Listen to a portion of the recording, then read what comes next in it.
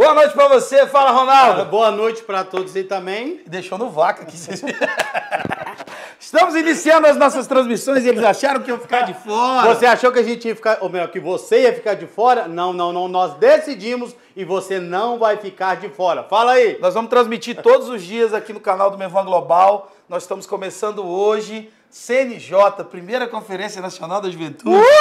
E eu quero te dar uma ideia. Pegue esse link aí agora aí e no mínimo, no mínimo, para umas 30 pessoas agora. Vamos lá. Manda nos grupos. Hoje tem Morada, hoje tem Juscelio, hoje tem muita surpresa, muita experiência interessante. É claro que não é a mesma coisa. Da próxima vez você se organiza e vem.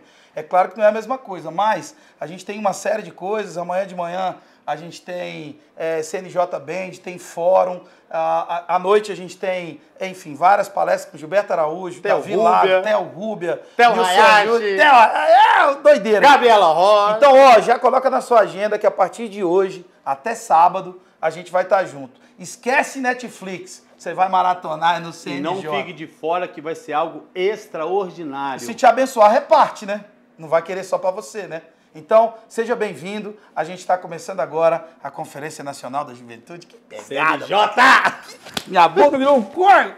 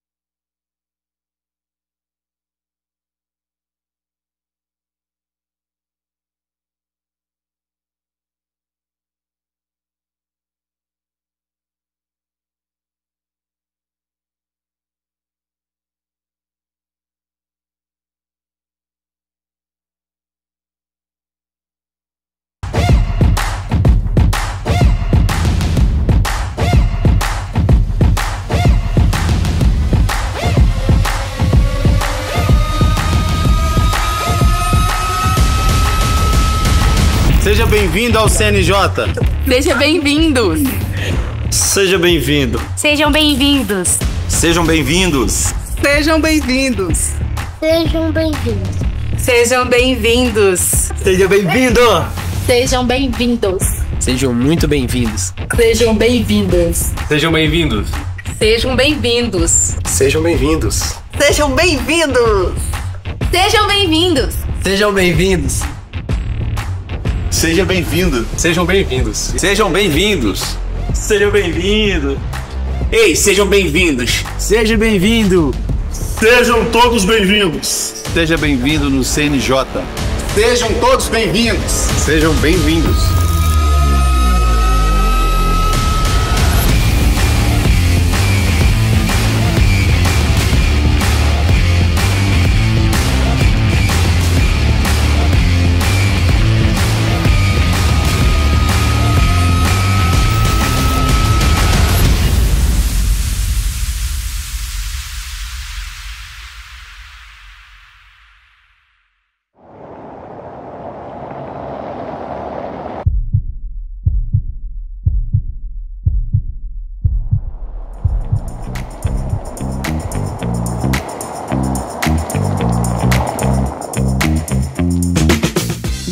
Bem-vindos a Contagem, a cidade que pulsa no coração de Minas Gerais.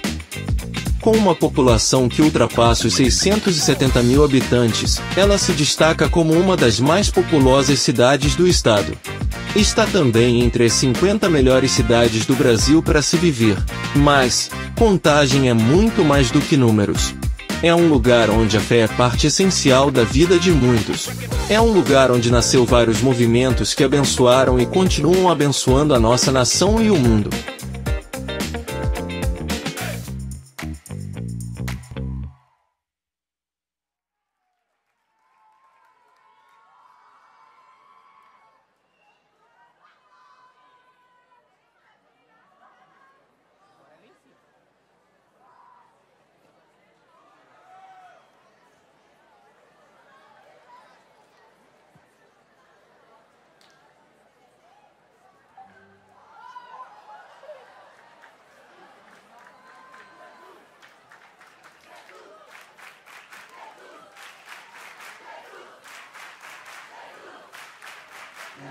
Queridos, que bênção demais poder falar com vocês.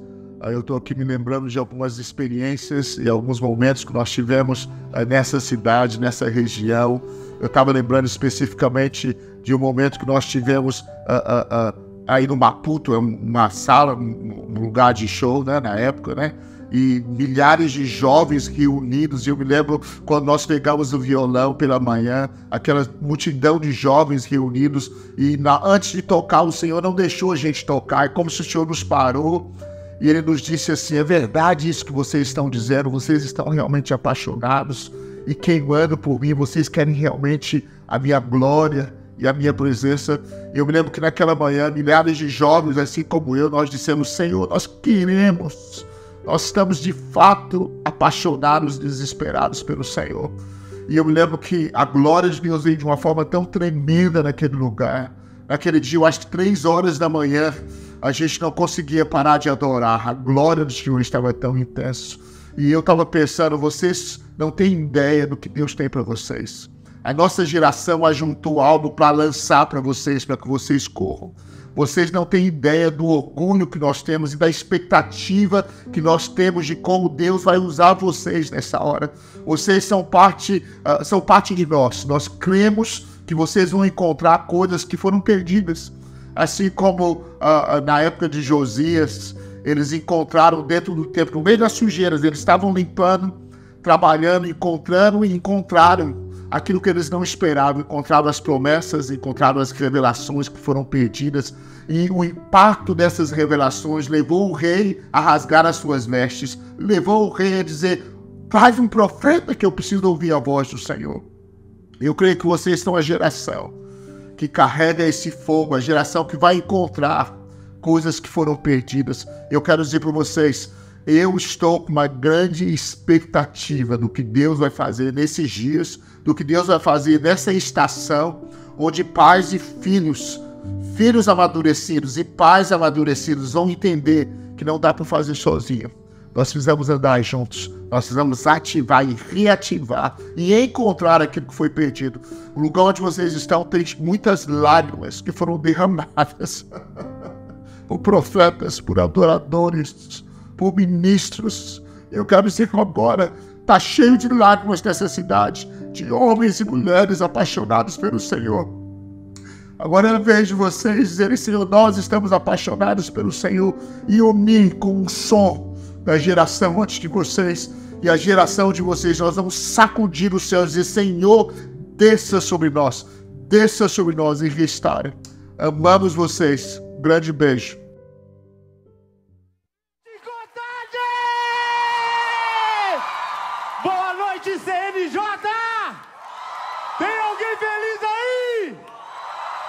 Vem! Comigo, Vilela.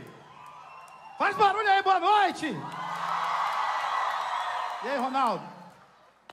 Gente, a gente tá feliz demais. Vocês estão também? Dá um sorriso para quem tá do seu lado aí e fala que ele emagreceu.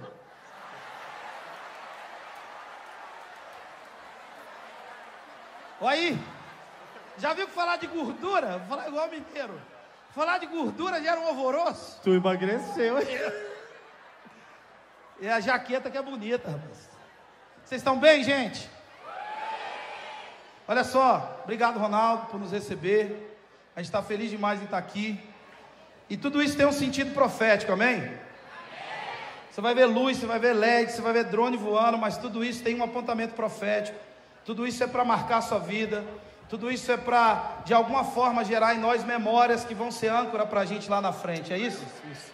Cara, e é tão bom a gente ouvindo Judson, que é um cara que profetizou até mesmo a nossa vinda, como recomeçar para esse ambiente. E falar para jovem é algo tão especial, Felipe, porque um dia eu era um cara desacreditado, vivendo nas drogas, e o Senhor restaurou a minha vida, e hoje está aqui, cara, eu estou assim, tão feliz, cara, porque essa cidade já aconteceu coisas extraordinárias. E o Judson, ele vem sempre falando sobre um farol nessa cidade, falando, cara, existe mais, existe mais, existe mais, existe mais, existe mais. E é assim que nós cremos. Glória a Deus. E o interessante é que nesses dias a gente chegou aqui à conclusão de que a gente se converteu na mesma época. Eu me converti um pouquinho antes, sou mais velho que você, viu? Me converti em 1999 e você em 2000. 2000. E a gente, eu, embora não sou daqui, pode sentar, já já você vai levantar de novo e vai ficar em pé por muito tempo. É, mas eu me converti em 1999, o que nutriu a minha fé quem aqui é de fora de contagem? Não é de contagem? Faz barulho. Levanta a mão. Pra... Eu não sei se você vai lembrar, mas quem era fio desencapado antigamente? Eu, Júnior, Rodolfo. Vou falar que era meio mundo de fio desencapado aqui. A gente foi muito nutrido por tudo que saiu dessa cidade. Eu tenho muita gratidão pelo que saiu daqui. Fui muito abençoado por contagem através da vida do Judson, da Heloísa, do David Quila, do Antônio Cirilo, de, da Nívia Soares e de tantas outras pessoas. E a gente estava medindo a nossa conversão há 23 anos atrás. Quem aqui tem menos de 23 anos, levanta a mão fazendo barulho. Então hoje, os filhos desse tempo, que sou eu e você, nós podemos contar para você essa história e dizer que Deus tem uma nova história para escrever nesse tempo, nessa cidade, no Brasil. E esses dias aqui é um marco nisso. Você acredita nisso? E a gente vai orar, mas eu acho que o Ronaldo tem uma pessoa especial para convidar para a gente fazer essa oração que inicia o nosso ajuntamento. Cara, eu vou convidar uma pessoa que acreditou aqui algo extraordinário. É um testemunho que eu acho assim surreal foi quando a minha mãe, ela, pastor Juscelio, ela acreditou no casamento onde que meu pai tinha várias mulheres na rua. Mas a minha mãe não desistiu dele. E passou o tempo, eu me desviei, mãe, a senhora continuou em oração. Se a senhora tivesse desistido da nossa casa, não existiria isso aqui. Por isso que eu quero chamar a senhora, vem aqui para frente. 76 anos, hein? Vem cá, mãe. Com 76 anos, irmão. Faz mais barulho aí! Faz mais barulho aí!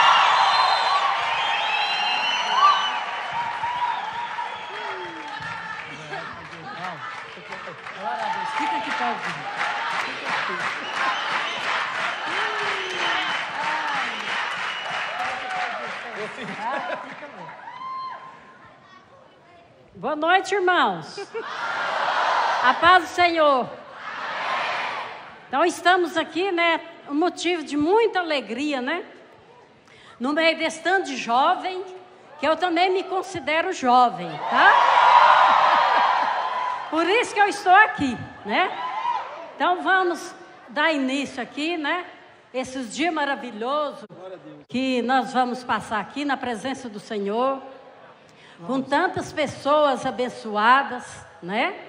e todo mundo junto aqui, então vamos orar, né? Pedir ao Senhor que seja um dia de muita alegria, né? Um dia maravilhoso para todos nós, né?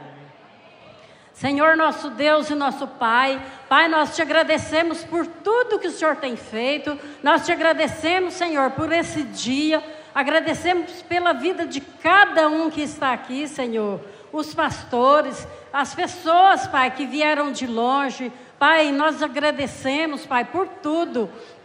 Pai, nós entregamos, Pai, esse evento nas tuas mãos. Nós sabemos, Pai, que tudo que for feito aqui vai ser pela direção do Senhor.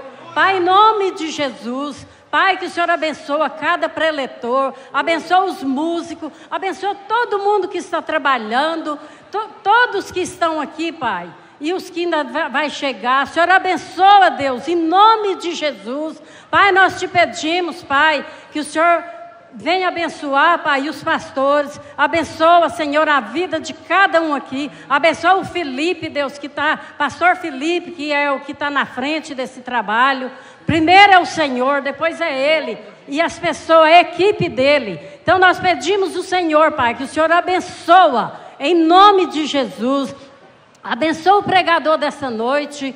Pai, que o Senhor esteja, Pai, que seja uma palavra abençoada, uma palavra que vai ter entendimento para nós. Pai, não deixa ninguém distrair aqui neste lugar. Que venha, Pai, que vai sair daqui todos que entrou naquela porta, vai sair daqui levando o que veio buscar, que é a bênção do Senhor.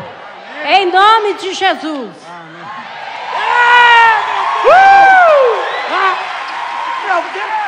Se eu fosse você, eu ficava de pé e aplaudia isso aí. Recebe essa oração aí, rapaz. Essa é a oração que tem poder de tirar um filho do vício, um filho da droga, um filho do inferno e transformar ele num pastor, num homem de Deus, num anfitrião de um ajuntamento como esse. E agora a gente vai adorar Jesus com a galera. São crente demais, são igreja demais. E eu amo demais essa galera, eles sabem disso. Tem hora que eu vejo as coisas deles, eu tenho vontade de entrar no ônibus e viajar com eles, tanto que eu gosto deles. Então eu queria que você recebesse com muita alegria, sabe, louvando ao Senhor, gente que é adorador, que ama a igreja, que ama Jesus e que tem abençoado as nossas vidas. Muita alegria, a gente vai adorar a Deus com a banda morada, faz barulho aí.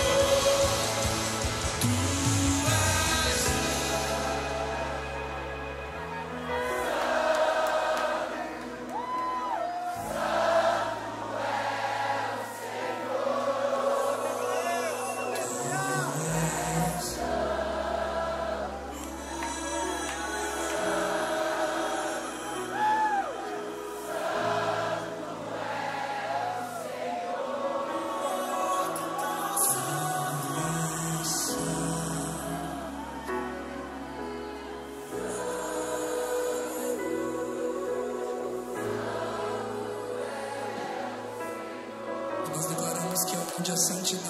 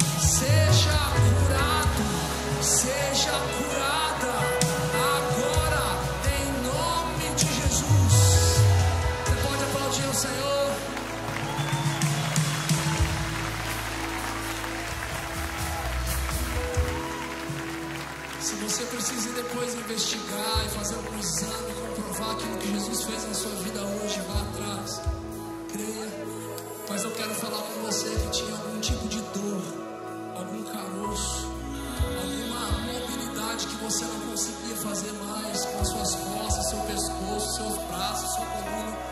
Você que está procurando a enfermidade que estava com você e você não encontrou mais. Para você ter, já tem gente ali. Para você testificar a nossa fé, aumentar a nossa fé. Você que foi curado essa noite, liga a lanterna no teu celular para ver que Jesus te curou. Liga a lanterna celular, você que foi curado, você que foi curado. Já tem um ali, dois, três, quatro, cinco, seis, sete, oito, nove.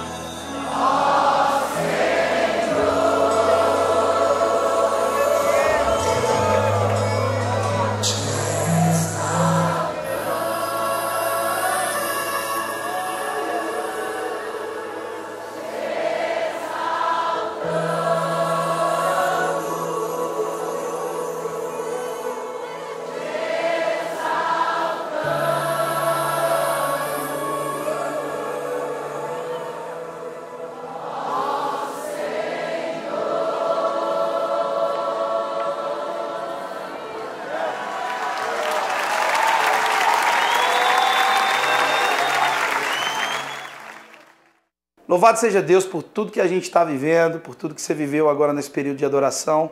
A gente está feliz demais em poder te oferecer isso.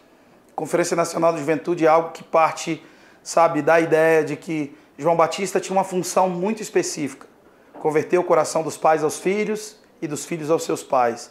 Então, durante todos esses dias, a gente está transformando uma verdade muito profunda, uma, uma percepção profética dos dias atuais a gente está transformando tudo isso em elementos pedagógicos, em experiências para a nossa juventude do Brasil. Bem, fazer todo esse evento é, é um desafio, um desafio muito grande.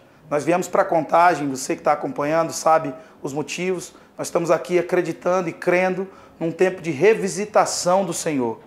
Então, ao, nos, ao se conectar com aquilo que a gente está vivendo aqui, você está sim se conectando sabe, com uma impressão profética, com um apontamento profético, com algo que Deus quer fazer nesse tempo. É, Para um derramar de um vinho novo, é natural que Deus precise de novos odres e nós acreditamos que essa juventude são os novos odres que Deus está preparando para derramar um vinho, para que as coisas continuem, para que a igreja brasileira continue a crescer, continue a avançar, continue a alcançar nações. E nós queremos usar toda, tudo aquilo que o Senhor nos deu, toda a nossa inteligência, toda a nossa capacidade, toda a nossa influência para tocar a próxima geração, tocar seu filho, tocar seus netos, tocar quem a gente puder com essa mensagem, com aquilo que o Senhor nos deu como ferramenta, com aquilo que a gente carrega do Senhor. E nesse momento, você já vai é, ouvir uma palavra agora do nosso querido pastor Juscelio, mas eu gostaria de chamar você para contribuir com a gente para participar de uma forma intencional. Talvez por um motivo ou outro você não pôde vir no evento, talvez você está distante, talvez vivendo uma situação que só Deus sabe o que você está passando. Entretanto, ninguém é tão pobre que não possa dar ninguém é tão rico que não possa receber. Então a gente quis transmitir e, em contrapartida, dar uma oportunidade para você nos auxiliar, nos ajudar. A gente montou toda uma estrutura e você vai conseguir acompanhar isso durante todos esses dias. Agora, não corresponde meramente a pagar um evento, corresponde a uma conexão com um projeto de Deus, com uma proposta profética do Senhor. Contribuir com esse evento é, de certa forma, aquilo que contempla o culto que você está fazendo na sua casa. Tomara que você esteja reunido com 10, com 15, com 20 pessoas, ou talvez está só você num carro. É, eu acredito que muitas das respostas que você vai ouvir é, de Deus são as respostas que você está buscando há muito tempo. E essa live vai ser sim uma bênção na sua vida, e é isso que a gente quer ser, uma bênção para todos aqueles que a gente puder ser bênção. Então, a gente quer dar oportunidade para que você participe disso. Contribua. Aqui está o nosso QR Code, em algum lugar dessa tela, está aparecendo o nosso Pix. É, seja generoso, contribua com a obra de Deus, participe daquilo que Deus está fazendo. E eu digo a você: tudo o que Deus vai fazer na, na terra, tudo o que Deus vai fazer na terra, Deus vai fazer através da igreja. Por isso nós precisamos trabalhar pelo futuro da igreja, pela saúde da igreja. Trabalhar gerações é trabalhar pela saúde da igreja, pelo futuro da igreja. Invista na obra de Deus, participe daquilo que Deus está fazendo nesses dias, contribua com, com, com aquilo que você puder, com aquilo que traz alegria para o seu coração. Pega aí o seu celular agora, aponta a câmera do seu celular para esse QR Code, abre o aplicativo do seu banco aponta aqui a câmera e faça uma oferta generosa para que a gente continue oferecendo a você é, conteúdo, é, enfim, informações que vão nutrir a sua fé e vão abençoar a sua casa, a sua família e a próxima geração. Deus abençoe. Fique atento a tudo que Deus vai falar com você nesses dias. Quero orar pela sua vida, abençoar a sua vida financeira, abençoar seus sonhos, sua empresa, sua, sua casa, seu lar, todos os projetos. Pai, em nome de Jesus, nesse instante, eu oro para que o Senhor dê mil vezes mais para todos aqueles que estão contribuindo com esse projeto, aqueles que estão ofertando, aqueles que estão, Pai, encontrando aqui um lugar verdadeiro para que eles possam oferecer a sua contribuição e o seu investimento na obra de Deus. Pai, eu oro por cada empresa representada, por cada sonho representado, por cada lar representado. Eu declaro, Senhor, que aqueles que estão enfrentando situações difíceis vão vencer essas situações em nome de Jesus. Aqueles, Senhor, que estão tendo que lidar, sabe, com situações que onde eles precisam receber, eles recebam em nome de Jesus. Aqueles que precisam pagar, que eles consigam pagar em nome de Jesus. Aqueles que estão vivendo uma situação de desemprego, que o Senhor possa trazer luz a esses. Aqueles que estão prosperando muito, que o Senhor lhes dê sabedoria para usar os recursos de uma maneira que glorifique o seu nome. Nós abençoamos cada vida em nome de Jesus e declaramos a prosperidade do Senhor. Declaramos que o seu povo terá para emprestar e nunca, em nome de Jesus, tomará emprestado. Que Deus te abençoe e que o Senhor estenda a prosperidade sobre a sua casa, sobre cada pessoa que está assistindo essa live junto com a gente nesses dias, em nome de Jesus. A gente vai voltar.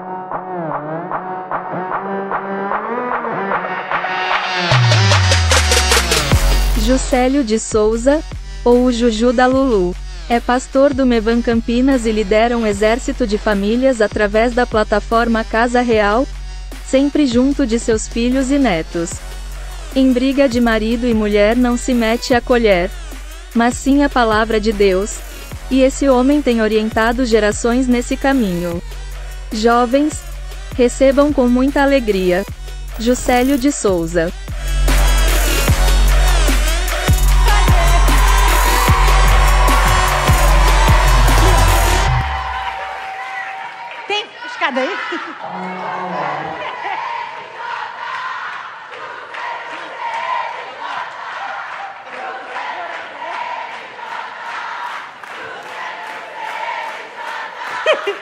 Você é preletor e está aqui e você gostaria de uma torcida dessa, eu recomendo que você faça uma caravana de 50 pessoas diretamente na sua igreja local e traga sua torcida organizada.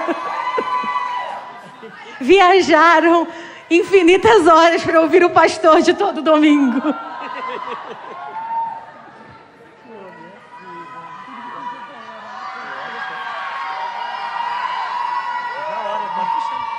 Vamos orar, amém? Espírito Santo, obrigada também pela tua alegria que habita nesse lugar, Senhor. Pai, eu oro pelo Pai agora. Declaro, Senhor, a tua sabedoria, a tua sobriedade, Senhor.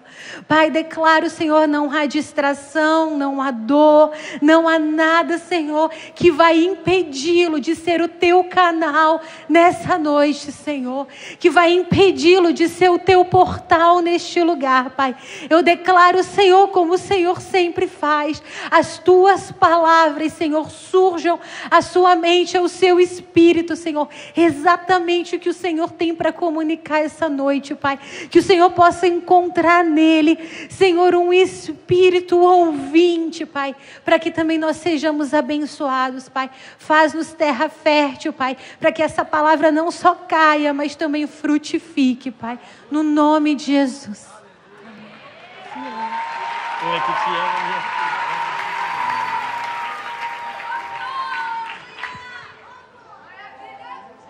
Glória a Deus.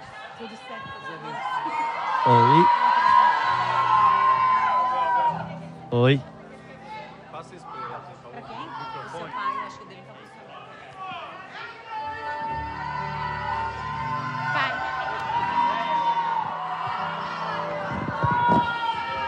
Oi, graças a Deus. Olá, meus queridos. Boa noite a todos. Deus abençoe sua vida, seu coração, seu espírito.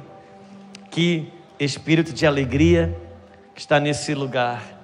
É, que maravilhoso, que sensação gostosa, que ambiente tão maravilhoso no espírito está nesse lugar.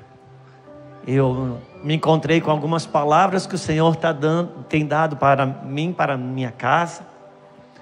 E uma delas é que nós precisaríamos voltar, é, precisaríamos começar a fazer as mesmas coisas pela primeira vez.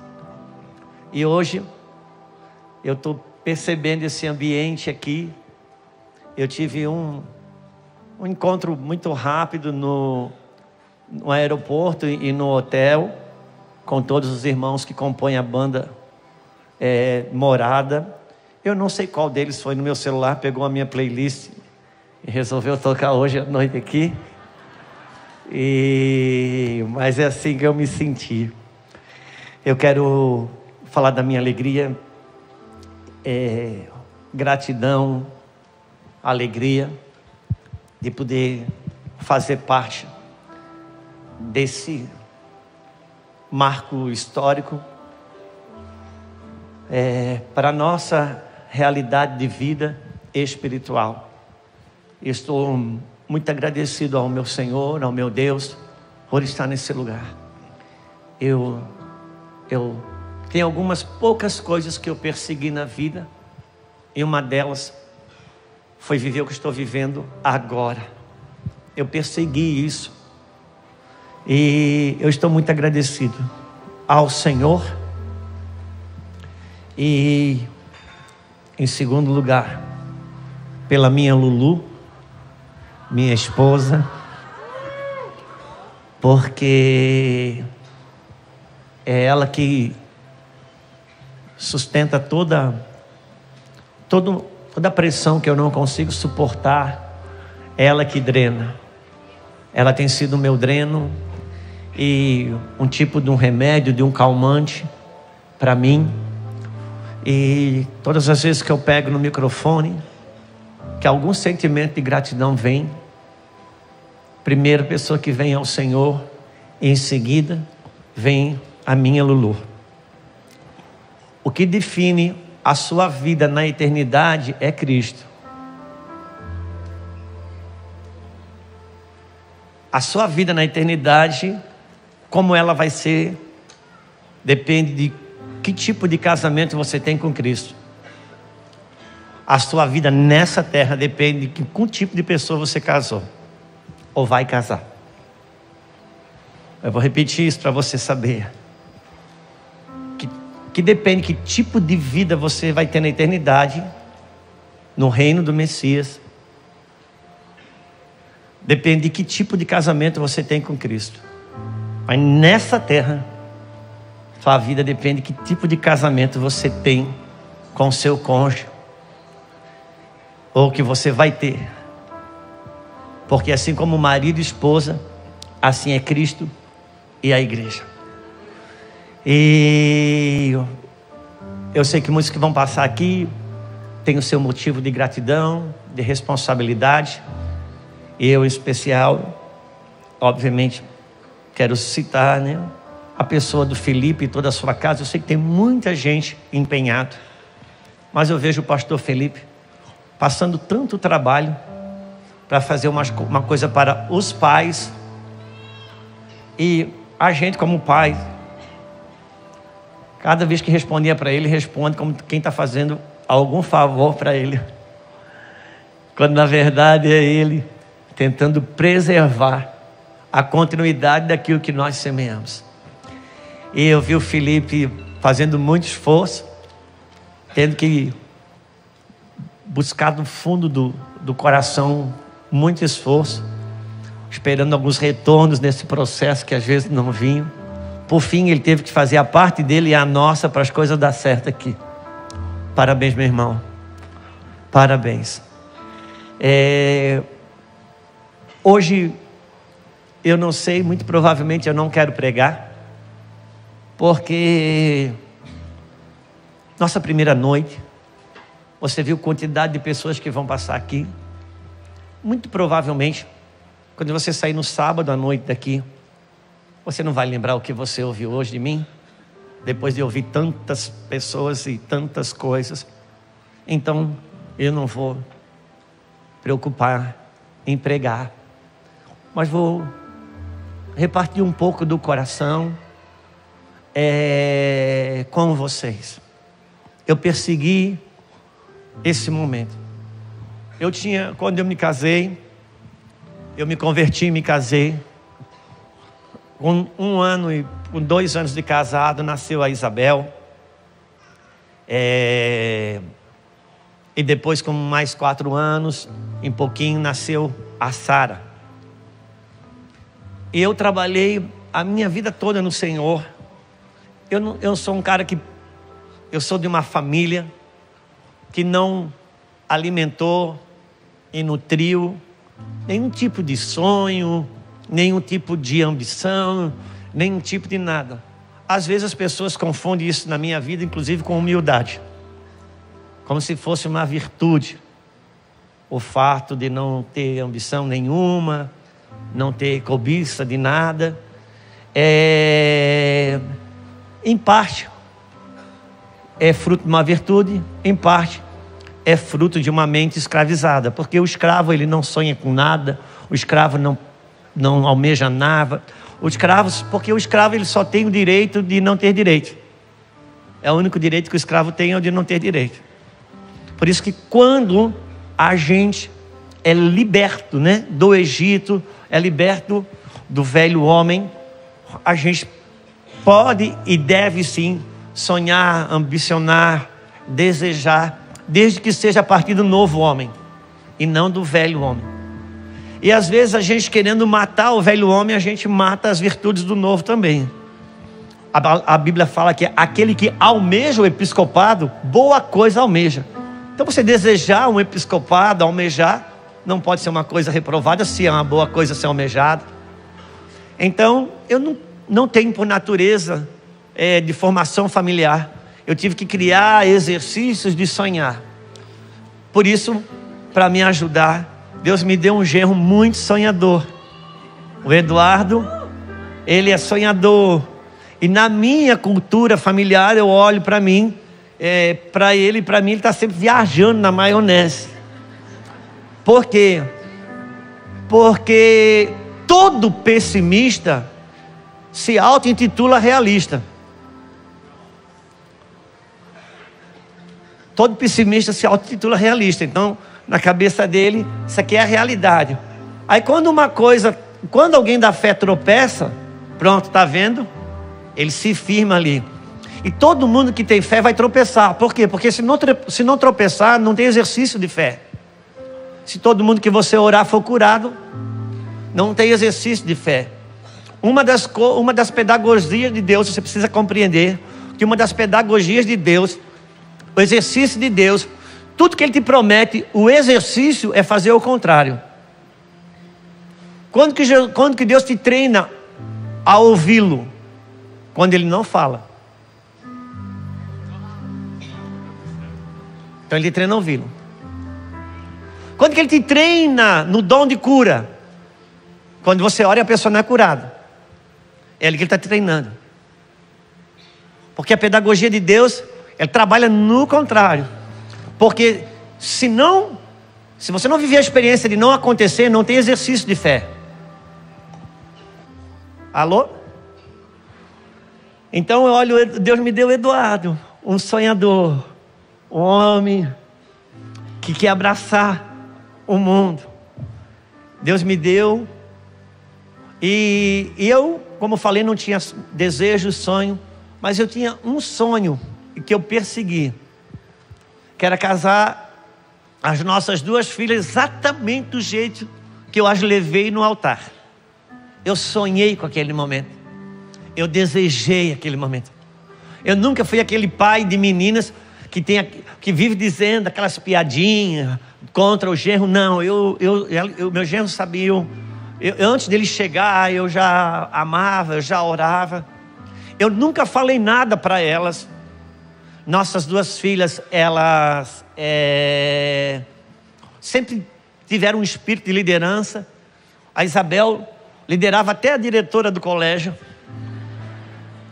A Sara foi líder de sala de aula desde a quinta série até acabar. Elas têm faculdades, as duas são empresárias. Mas eu não, não criei nem a Isabel nem a Sara para um ministério e nem para uma carreira. Eu sempre criei, criei as duas filhas para um homem. Quando elas cresceram, a minha oração é: Deus, aonde está o teu homem? Porque o meu já sei como é que é, mas eu quero o teu. Porque a mulher Deus fez para o homem. E nunca queira mudar isso na Bíblia. Nunca queira mu mudar as propostas da Bíblia. A mulher que não sabe ser para um homem, jamais saberá ser para Cristo. E, e Deus me deu dois gêneros maravilhosos, inexplicavelmente maravilhosos.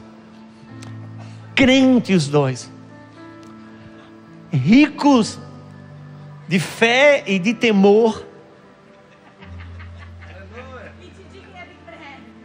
E, e era tudo que eu desejava. Então, quando eu levei no altar, quando levei a Isabel e logo em seguida levei a Sara, eu digo: agora acabou, não tem mais nada, eu posso morrer. Igual o Simeão entregou, apresentou o bebê e disse: pode ir embora, porque eu não tinha mais sonho, não tinha mais nada. Mas os meus sonhos manteve de uma geração de filhos, de, de crianças que crescessem, atingissem a adolescência e entrassem na juventude. Não para ser igual a nossas filhas e nossos genros, mas que chegassem no altar do seu casamento como um grande prelúdio da boda do cordeiro. Porque todo casamento é um ato profético sobre aquele dia. Por isso, ele precisa espelhar aquele dia. Não profane o evangelismo sobre a boda do cordeiro. Ele vai vir buscar uma igreja sem mácula, sem ruga. Então eu sonhei com esse momento. Meu coração está voltado para os adolescentes, os jovens. E tanto que nossa galera lá da igreja local está aí. Eles, eles são minha paixão lá na igreja local. Eles sabem disso. Porque eu gemi pela, por essa geração de jovens. Eu gemi quando elas eram crianças. Eu tentei falar para os pais da minha geração que o caminho que eles estavam tomando como pai e mãe não ia dar certo no futuro. Mas eu não podia provar porque nossas filhas ainda eram crianças. E eu sofri tanta pressão, tanta pressão que em alguns momentos eu achava que eu podia estar errado, inclusive, mas eu disse: não, eu vou permanecer nisso que eu estou crendo. E quando as nossas meninas eram bebês e eu ensinava os pais de bebês, elas diziam: não, espera, pastor, daqui a pouco elas são crianças, vão começar, começar a ter vontade própria, você vai ver. Pois elas se tornaram crianças e a gente permaneceu ali. Pastor, espera, daqui a pouco elas vão ser adolescentes, aí você vai conhecer o que, que é. Pois elas foram para a adolescência. E está tudo bem, ninguém experimentou crise de filho adolescente. E eles dizem: não, a hora, que elas a hora que elas na juventude, que elas não precisam mais dar satisfação para você, você vai ver. E eu disse: não, não é possível. Não é possível. E eu guerriei, falei com os pais dessa geração. E hoje tem uma parcela de jovens que me ouvem. Não é porque a minha mensagem é para jovens, é porque eu luto por essa geração de jovens. Desde quando eles nasceram, eu guerrei por eles, desde quando nasceram. E hoje não adianta, Deus colocou algo no meu espírito. E eu vou pedir para você abrir a sua Bíblia em Marcos capítulo 9. Eu quero conversar um pouquinho com vocês aquilo que recentemente eu conversei com os pastores, com os pais. Com os pais eu já falei. Hoje eu vou falar com os filhos. Mas eu estou, em especial, muito feliz de ver alguns homens que estão aqui hoje, que há poucos anos atrás eram símbolo de uma juventude e hoje já são pais dela. Tem algumas pessoas especiais que, que tem um lugar de muita honra no nosso coração e respeito. Uma delas é o pastor Júnior, está aqui. Ele sabe disso. Nossa casa tem um grande respeito pelo Júnior. Todas as vezes, todas as conferências que tinham em Itajaí, quando o Júnior subia para pregar, o pessoal de fora falava, uh, e nós da casa ficava assim, carregado de temor, porque Júnior era aquele profeta que nunca profetizava o que o rei queria. E quando nós estava tudo alegre, ele estava chorando. E quando nós estávamos chorando, ele estava alegre. Porque, como ele mesmo diz, o profeta é como um estilista. Ele sempre está trabalhando na roupa da próxima geração. Então, quando está todo mundo vestindo roupa de inverno, ele está desenhando roupa de verão. Por isso que ele nunca é muito compreendido, porque ele anda numa estação, a próxima estação. Em Mateus capítulo, Marcos capítulo 9, como eu falei, eu não estou na, na, na, na propensão de pregar, mas de conversar rapidamente com vocês que saíram das vossas casas. Eu, eu, eu não acredito, sinceramente, que você, as pregações que vão impactar é, aqui nesse lugar, até porque a gente já, quando a gente sai de uma conferência, é mais ou menos a gente sai qualificando do, do, do 0, 1, 2, 3. A primeira pregação foi a de Fulano, a melhor, depois foi a do Ciclano, depois foi a do Beltrão. E sair qualificando a pregação não é o tanto que importa, porque você faz parte de uma geração no universo da igreja, uma geração que a geração que veio antes de você, que é a minha, eu estou aqui como réu, confesso, nós nos tornamos consumidores de uma mensagem. Consumidores de mensagem. Sabe quando você vai no cinema, você entra lá, assiste aquele filme, estreou, você estava lá. E o filme foi tão impactante, era uma estreia, nem você esperava. Como que seria, porque era novidade. Você vai, aquele filme você riu, você chorou, você aprendeu uma lição de vida. Uau, é algo tão emocionante. Quando acendeu a luz, você estava todo envergonhado, chorando daquele jeito e tal. Só que quando você sai dali, pisou o pé fora do cinema, era uma história, era um filme. Sua vida sai dali, você vai continuar o que você vive, o que você gosta e ponto final. Porque foi só um filme. Nós nos tornamos mais ou menos assim. Vamos numa conferência, consumimos aquela mensagem, ali a gente ri, ali a gente chora. Mas quando sai dali, sai mais ou menos como quem saiu do cinema. Aquilo foi um evento que aconteceu lá dentro. Mas essa não é a proposta do Evangelho. A proposta do Evangelho é que cada palavra que eu ouço, que vem de Deus, ela vem para me deslocar do lugar. Porque essa é a proposta da revelação: me tirar de um lugar em Deus e me colocar noutro lugar nele.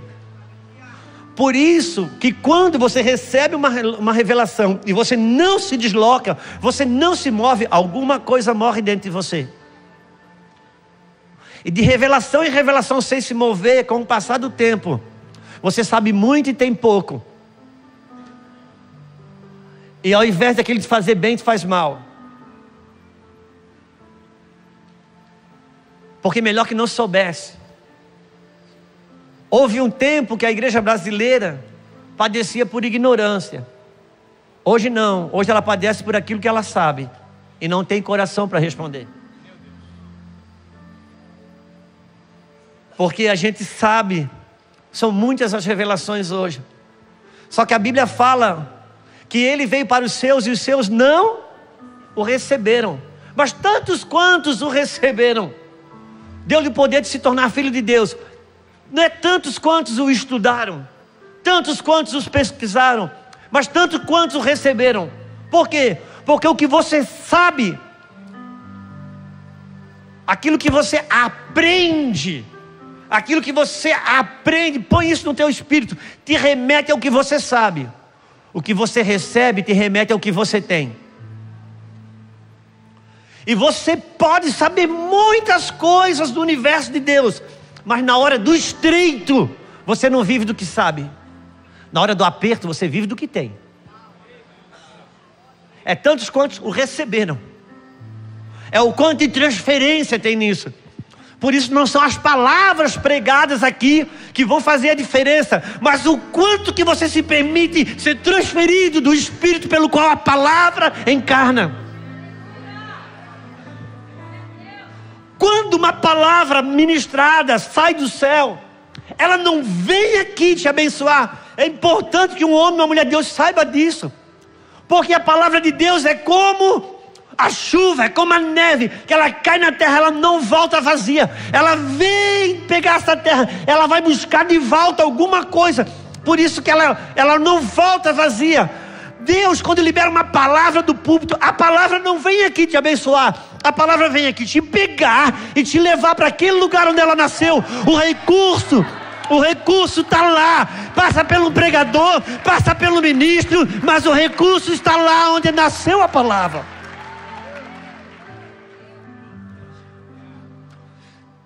Se eu não subo e não vou lá, eu só me torno um consumidor. Então quero declarar que haja transferência, como aconteceu aqui. De poucos segundos, várias pessoas ser curadas. Foi mais do que canção ali. É transferência de vida. É transferência. Transferência muda tudo, não é informação. Conhecereis a verdade e a verdade vos libertará. Conhecer a verdade é diferente de ter uma informação sobre ela. Por quê? Porque na Bíblia Sagrada, conhecer o que, que é. Vai em Gênesis que você vai ver a lei da primeira menção. Conhecer a verdade na, na, Bíblia Sagrada está ligado ao mesmo movimento de um homem que se deita com uma mulher e nasce alguém. Então Adão conheceu Eva e Eva teve um filho. Então conhecer na Bíblia não é receber uma informação, é uma união tão profunda do qual uma junção que existe dali nasce, é gerado um fruto ali. Conhecereis a verdade, a verdade vos libertará. É isso que o Senhor Jesus está dizendo. É você entra, entra no seu quarto, fecha a porta atrás de ti. Como o marido e a esposa fazem quando você conhecer. Então ele entra no quarto. Quem é filho aqui sabe. Quando você chega no quarto do pai e da mãe, que os dois estão lá dentro e a porta não abre, labassúria, meu irmão entraram no quarto para se conhecer. E é assim que acontece. É assim que acontece. Os filhos podem disfarçar que não sabem, mas sabe que aquela porta nunca está fechada. Trancou. Aleluia. Porque entraram ali para se conhecer. E assim como um homem entra no quarto para conhecer a sua esposa, e depois de um tempo de conhecimento, algo dentro dele é depositado, é jorrado dentro dela. E se pega no, no, no, momento de fecundação fértil, ela engravida e depois desse conhecimento nasce um filho. Quando Jesus fala, conhecereis a verdade, a verdade vou libertará. Não é fruto de pregação, não é você petiscar a verdade, é você pegar a verdade de Deus, entra no teu quarto com a verdade de Deus, leia as escrituras, a verdade está ali. Você ali se deita com as escrituras como o marido deita com a esposa beija a escritura como o marido beija a esposa, fica nu diante dela como ele fica com a esposa, e essa verdade vai jorrar uma semente dentro de você. Sabe o que acontece?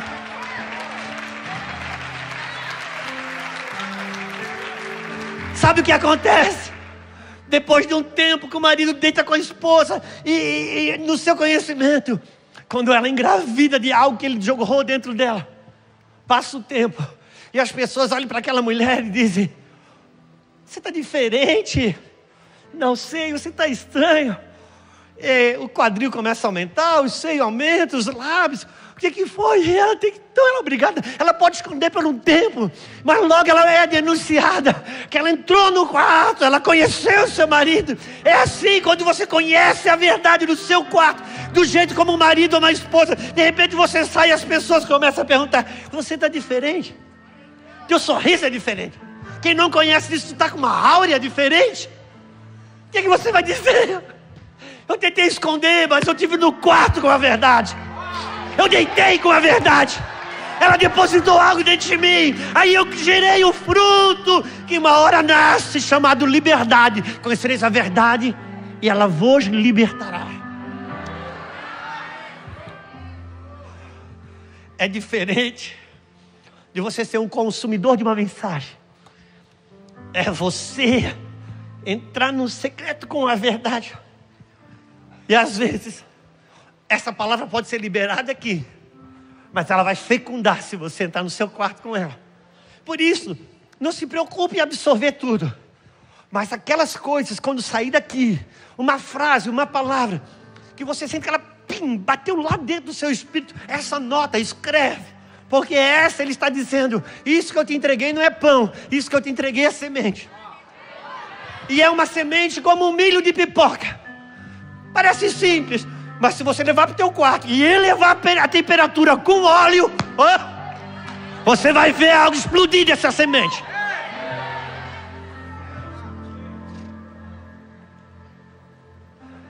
E que assim seja nesses dias aqui. Então, eu quero ler rapidamente capítulo 9 de Marcos. Eu, isso aqui é uma palavra para paz. Mas eu preciso repartir com os filhos. Para que entendamos e colocamos, coloquemos todos na mesma página. O que vamos falar agora muito rapidamente. Não é uma pregação, é uma realidade dos nossos dias e o que você puder receber isso, então que você receba. Capítulo 9, versículo 9 de Marcos. Desceram do monte, ordenou-lhe Jesus que não divulgasse as coisas é, que tinham visto até o dia que o filho do homem ressuscitasse dentre os mortos. Eles guardaram a recomendação, perguntando uns aos outros o que seria o ressuscitar dentre os mortos. E interrogaram Jesus, dizendo: por que dizem os escribas ser necessário que Elias venha primeiro?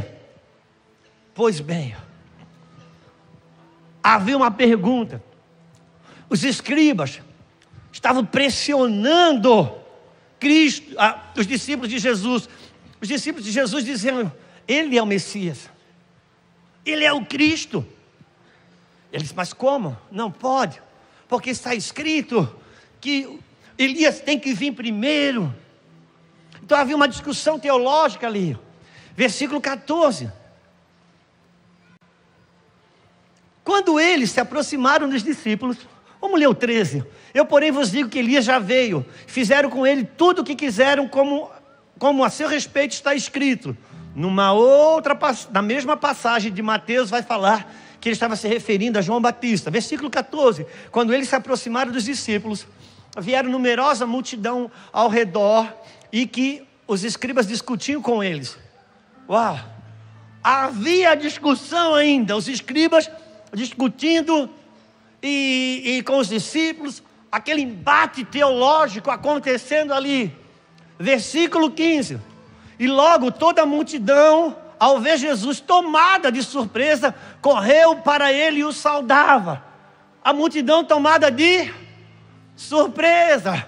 Porque em um lugar onde só se debate teologia, quando Jesus chega é uma surpresa. Lugar onde só discussão teológica, quando ele chega é uma surpresa. E continua o texto dizendo: então, ele interpelou os escribas: que é que discutis com eles? Bom, Jesus pergunta para os escribas: qual é o debate teológico que está acontecendo aí? Qual é a discussão sobre Elias em primeiro ou coisa do tipo? Versículo próximo. E um dentre a multidão respondeu: Mestre, trouxe-te o meu filho, possesso de um espírito mudo, e este, onde quer que o apanha, lançou-o por terra, e ele, espuma, rilhos dente, vai se definhando. Roguei aos teus discípulos que expelissem, e eles não o puderam.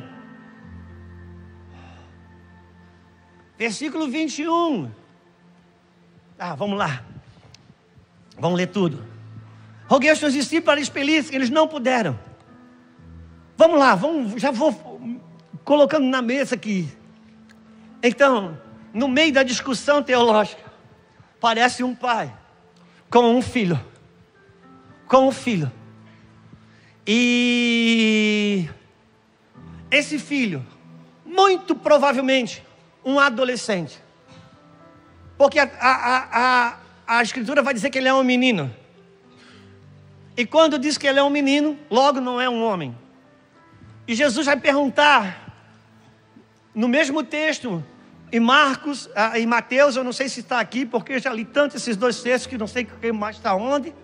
Jesus vai perguntar para o pai, desde quando acontece esse, com, esse, com esse menino?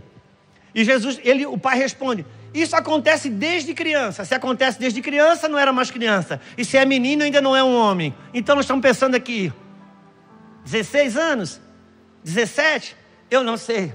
Mas mais ou menos a idade de muitos que estão sentados aqui. Versículo próximo. Oi? Então Jesus lhe disse: Ó oh, geração incrédula, até quando sofrerei? Até quando vos sofrerei? Trazei-no aqui. Versículo próximo. E trouxeram, e quando ele viu a Jesus, o Espírito imediatamente o agitou com violência, e este caindo por terra revolvia-se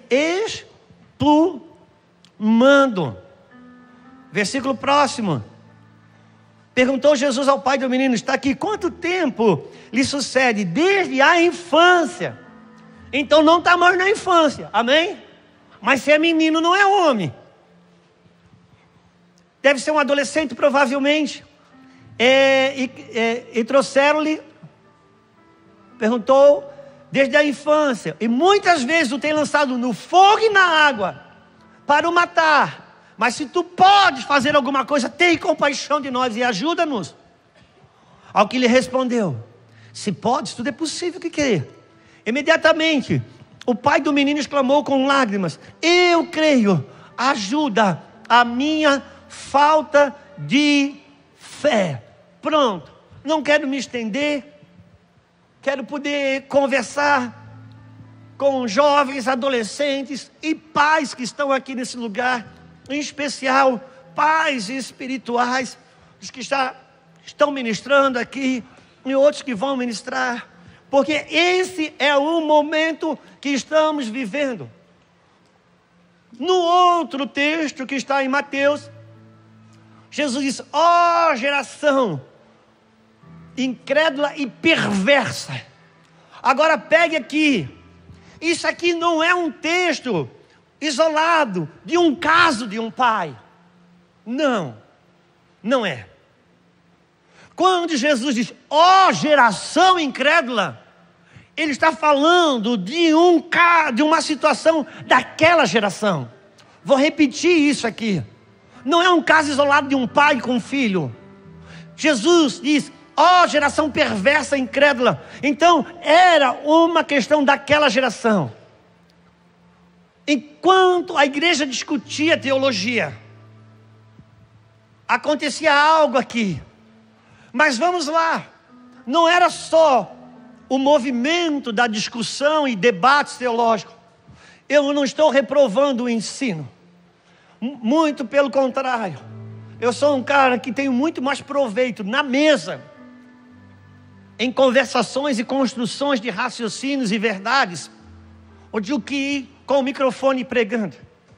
Mas o debate teológico, a discussão teológica, aquela que o apóstolo Paulo reprova e pede para que não aconteça, só que é o orgasmo dos nossos dias. Fazer perguntinha na caixinha para ver de que lado você está, qual é a sua opinião sobre isso. Ouça, quando você usa a Bíblia como argumento, ela não liberta. Quando você usa ela como verdade, ela liberta debate teológico. Valeu. Tá ótimo. Debate teológico, ouça. Debate teológico nunca tributa louvor à verdade. Debate teológico tributa louvor a quem apresenta o melhor argumento, ainda que seja a verdade.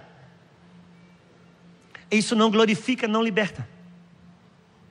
Quando eu uso a Bíblia como argumento, ainda que eu tenha, que eu tenha a verdade, eu não liberto. E estava discutindo. Só que a igreja vivia uma outra realidade. Chegou um pai com esse garoto, esse adolescente, possesso. Vivia uma dor, aquela casa tinha uma dor. Qual dor? A dor dos nossos dias. De adolescentes sendo jogados uma hora no fogo, outra hora na água e vão se definhando, como está escrito aqui no final do versículo 17: estão se definhando.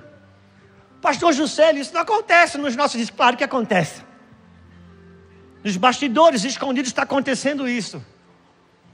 E eu sei, ó geração de adolescentes e jovens, que mesmo na igreja, a maioria de vocês tem, tem pensamentos suicidas. Muitos de vocês se cortam. Problemas de depressão, síndromes de pânico, coisas do gênero. Eu sei. Coisas que você não tem coragem nem de abrir muitas vezes para o seu pai, para sua mãe, principalmente se você for filho de pastor, talvez. Porque é essa a condição de hoje. Agora eu gostaria que você pensasse, e os pais espirituais que estão aqui. Aquele pai, ele não foi. Ele foi na igreja, Júnior. O pai foi na igreja. O pai foi nos discípulos. E os discípulos não puderam libertar. Não tinha poder para libertar. E os discípulos ficaram muito admirados. Chamaram o mestre no canto e disseram: Por que nós não podemos? Sabe qual era a admiração dos discípulos? Porque porque eu, em João, se você puder, o, o irmão que está lá olhando para nós, abre lá para nós bem rapidinho, João capítulo 10. Acho que versículo 14 ou 15. João capítulo 10. Eu vou no 10 para ver quais são os versículos que tem.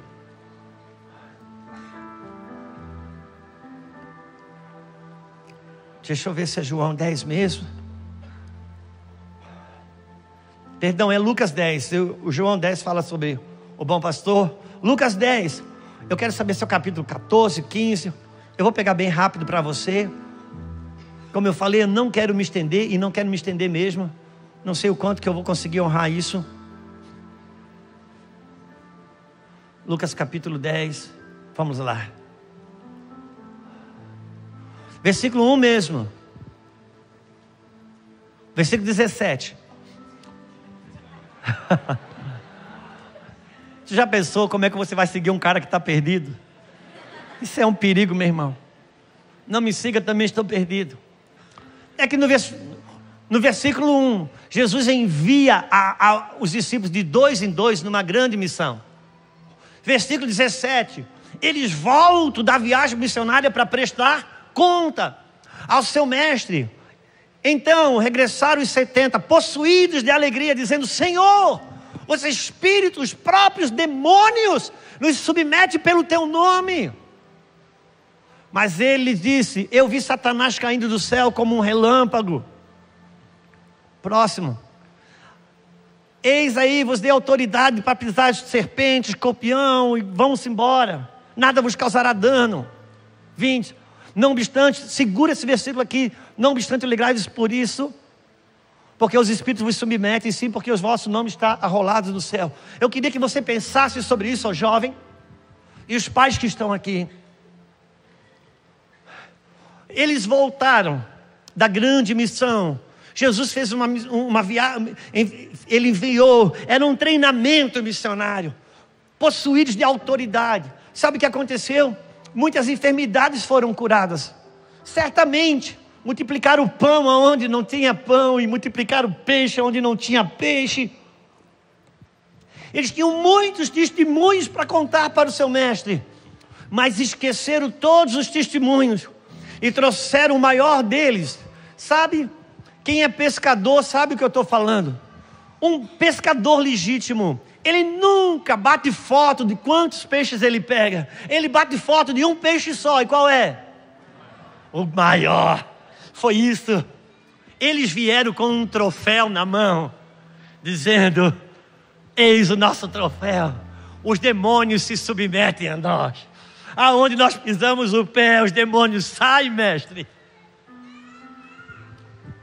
Só que agora tem uma situação de um pai que apresenta um filho endemoniado. E a igreja não tinha poder para isso. E Jesus fala: geração perversa e incrédula. Deixa eu lhe dizer uma coisa. Muitos de vocês que estão aqui, servindo a Jesus, estão sendo atormentados, e eu sei. Atormentados por desejos suicidas, por pensamentos de dificuldade de identificação sexual, atormentado por desejos lascivos.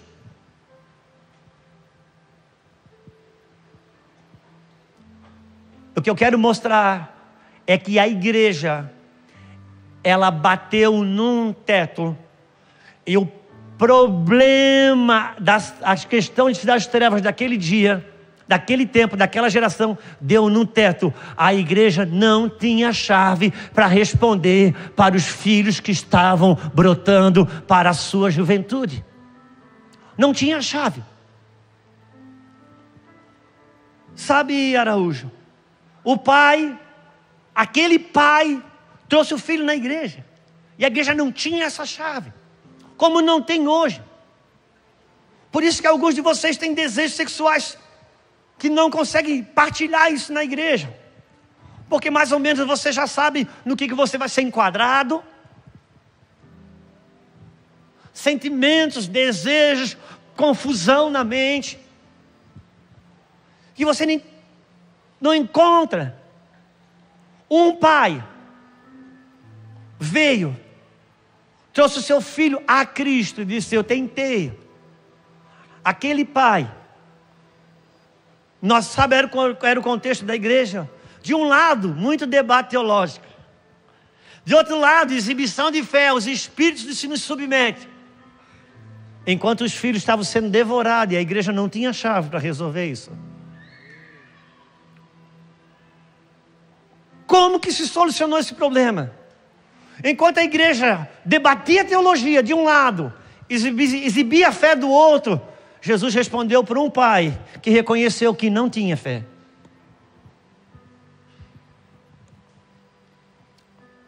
Se revelou e respondeu para alguém que reconheceu que não tinha a resposta. Aquele pai estava dizendo e clamando como muitos pais dos nossos dias. Chegou para Jesus e disse: Rodolfo, Senhor Jesus, eu tenho fé para pagar os estudos dos meus filhos.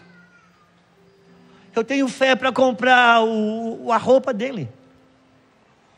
Eu tenho fé para pagar o tênis dele. Mas eu não tenho fé para arrancar o meu filho desse lugar que ele está.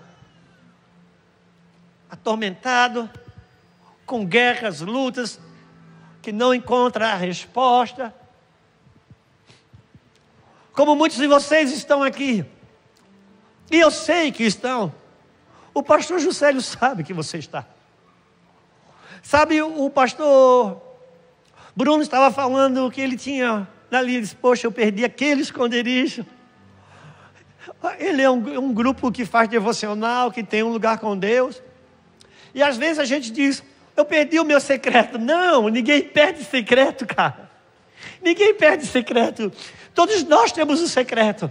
A gente muda de secreto. Eu tenho meu secreto para me masturbar. Eu tenho meu secreto para ver pornografia. Eu tenho meu secreto para comer uma coisa escondido que ninguém pode saber. Eu vou lá comer escondido. Todo mundo tem secreto. Ninguém fica sem secreto. A gente muda de secreto. Só tem um secreto que traz libertação, então esse você sabe qual é. Então ele está arrancando a gente do secreto para devolver para o secreto. Quantos estão comigo? Então vamos lá. Deixa o pastor José avançar um pouquinho mais. Hoje, nós, como igreja, não temos a chave completa para trazer vida para muitos dos nossos filhos e alguns deles que estão aqui. Como que se resolveu esse problema? Aquele pai era mais do que um pai biológico, porque aquele filho era mais do que um filho biológico. Aquele era uma representatividade do quadro daquela geração. Enquanto a igreja de um lado exibia fé, do outro lado debatia teologia, havia um clamor nas, nos lares de pais e mães que estão vendo seus filhos escoarem na dor, no medo, na insegurança, e não havia cura, libertação para isso. Então aquele pai resolveu clamar ao Senhor. E dizer: Senhor, se tu podes, e ele disse: Se eu posso, tudo é possível que crê. Ele diz: Eu creio, mas a medida de fé minha não consegue tirar meu filho, minha filha desse lugar. Então ajuda-me a minha fé. Então Jesus saiu do debate teológico, saiu da exibição da fé e entrou no clamor de um pai geracional que clamava a Cristo. E aonde um pai geracional clama, tem filhos libertos. Aonde um pai geracional clama, tem jovens libertos. Aonde um pai geracional clama, tem libertação. Por isso que você se conecte com um pai geracional. Talvez não brote da sua própria casa, que bom se brotasse, mas entenda a paz geracional hoje, clamando diante do Senhor por você. Olha o que disse Paulo a Timóteo. Meu Deus, você sabia que Timóteo ele tinha uma marra? O que é uma marra? A gente, todo jogador tem, todo, todo mundo que é muito bom numa coisa é meio marrento. E Paulo tinha uma marra. Paulo não discipulava quem ele não ganhava para Jesus. Ele deixa escrito: Eu não trabalho em terreno alheio. Só que o cara que é sucessor dele, não ganhou, ele não ganhou para Jesus. Ele diz assim: Ele olhou em Timóteo e disse: Cara, esse cara que eu não ganhei para Cristo, mas ele é de terra fértil. Então ele escreve, escreve: Timóteo, aquela fé que primeiro esteve na tua mãe, e de, primeiro esteve na sua avó, e depois na sua mãe, essa fé, que aplica nela, meu filho. Por que que Paulo discipulou Timóteo se não ganhou Timóteo para Cristo? Porque o pai de Timóteo era grego. Ouça, se você tem fé que você abraçou, que serviu para manter você despertado para Cristo, e se você segurar essa fé, Deus levanta um Paulo para preencher a lacuna de paternidade que falta, como ele fez na vida de Timóteo. Então, uma fé de uma avó, uma fé de uma mãe, isso tem muito poder em seu efeito, e quando ela é preservada, Deus levanta um Paulo, um homem, para ocupar uma lacuna de paternidade. Eu quero que você saiba que tem homens nessa geração clamando por você. Eu não sou o único, mas eu sou um deles que tenho clamado pela sua vida. E saiba, procure você que é do mundo online. Aproveite. Reconheça os pais espirituais que estão clamando por você. Você vai saber quando você tocar na unção de um homem desse, você sabe que você se sente amado. Você se sente, esse cara me conhece. Esse cara não só descobriu na Bíblia que eu posso tatuar, ele não descobriu na Bíblia que eu posso escutar música do mundo, e deixa essa blogueiragem para outros. Reconheça a paz que quer te arrancar do lugar que você está, das suas lutas, das suas guerras, das suas noias, aquilo que no secreto da carne te machuca e te maltrata.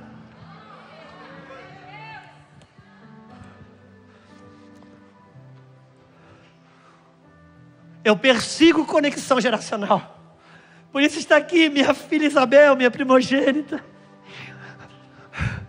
O Eduardo. Construindo, estamos construindo algo tão lindo. Eu e o Eduardo, um é água, o outro é vinho. Às vezes eu machuco ele, às vezes ele me machuca. Mas nós estamos com algo muito acima disso. Um pacto. Como eu já falei em alguns lugares, eu volto a repetir. Sabe, quem conquistou Canaã não foi uma geração velha, uma geração idosa, não. Foi uma geração nova que entrou em Canaã, geração jovem que entrou em Canaã. E quando ela chegou lá, quando Josué foi repatriar a terra, Caleb se levanta e diz: Olha, sabe de uma coisa? Eu já estou com 80, muito provavelmente. Josué vai, vai, vai dar o meu, meu pedaço de chão, de chão para alguém. Que eu já estou velho, ele acha que eu já quero, eu não quero mais nada. Ele chama, Caleb chama Josué e diz: Josué, vem cá, amigão. Deixa eu te falar uma coisa. Aos 40 anos de idade, eu tive aqui nessa terra. Se dependesse de mim, eu teria ficado aqui mas porque a minha geração foi incrédula, eu também perdi o direito de entrar. Hoje, aos 80, eu ganhei o direito de chegar aqui de novo. E eu quero meu pedaço de chão, porque com o mesmo vigor que eu tinha aos 40, eu estou aos 80. Então, como que se conquista Canaã? Canaã se conquista com uma geração nova que dá as mãos para uma geração que não envelhece.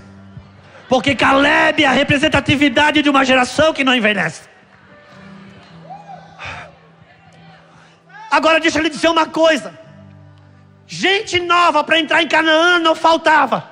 Mas um Caleb que não se deixou envelhecer, você não encontra em qualquer lugar. Mas se no teu coração tiver conexão geracional, Deus vai te mostrar. Ah, Ele vai te mostrar. E você vai saber quando você encontra.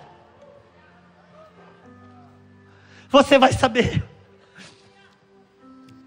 E antes de pensarmos em conquista, vamos ter que pensar em conexão primeiro. Porque sem converter o coração do pai ao filho, ao filho ao pai, nós não vamos sarar a terra. E como que faz isso? Vamos lá. Efésios capítulo 2, versículo 14. Por favor. Efésios 2, 14. Capítulo 2, não começa. Aqui. Te desejamos.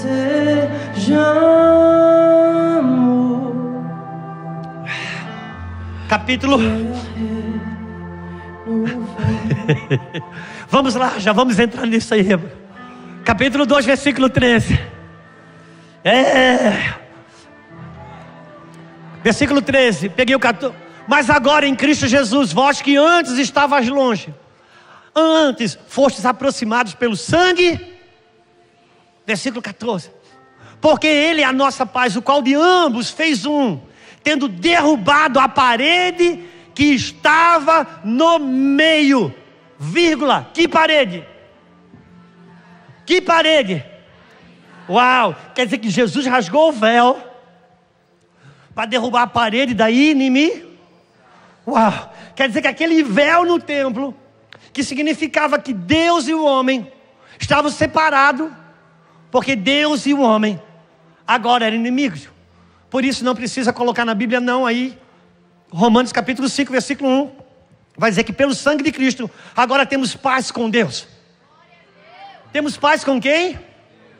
Se eu tenho paz com Deus é porque eu estava de mal com Ele. Eu estava brigado com Ele. Mas em Cristo Jesus nós voltamos a ficar de bem. Isso está no versículo 1. No versículo 9 vai dizer que pelo sangue de Jesus Cristo fomos salvos da ira. Da ira de quem? Da ira de quem? Ah, ok. Quer dizer que eu estava brigado com Deus. E eu fui salvo da ira de Deus. Tem gente que pensa que o, dia, o Cristo Jesus veio pagar uma dívida que eu tinha com o diabo.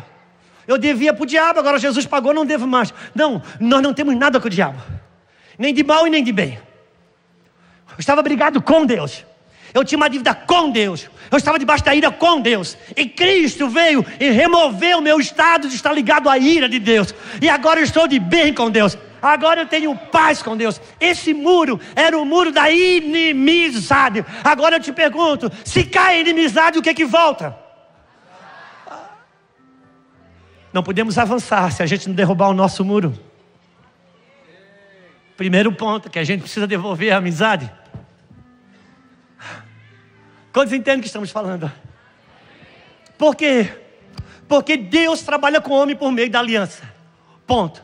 E o ponto mais alto do mundo relacional de Deus dentro da aliança é a amizade.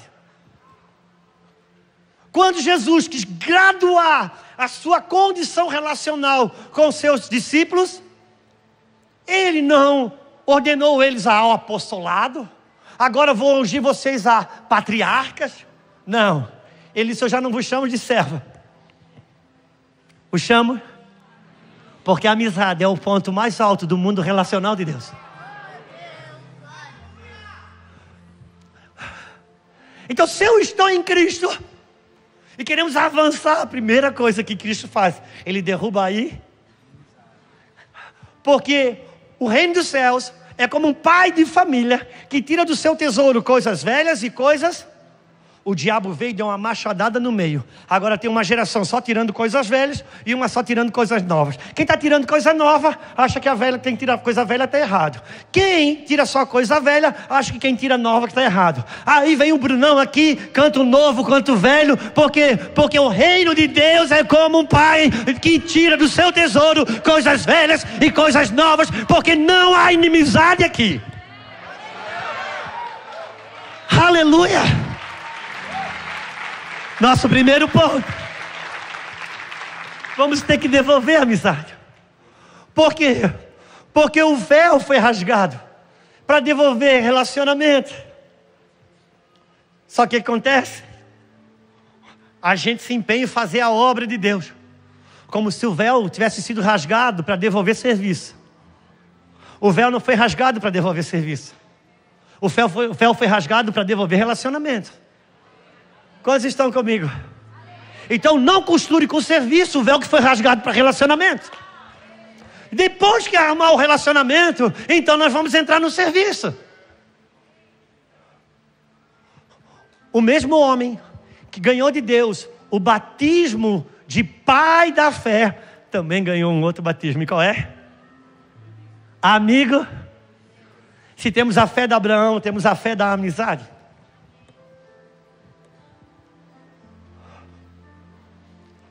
Ninguém tem maior amor do que esse.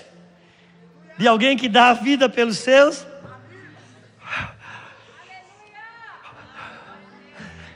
Eu estou aqui para dizer: não tenho barreira com você, jovem. Aturo velhinho aqui um pouquinho.